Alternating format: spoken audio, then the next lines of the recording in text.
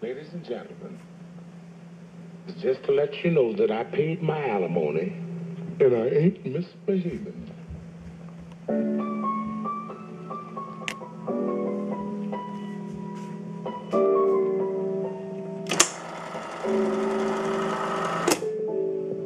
No one to talk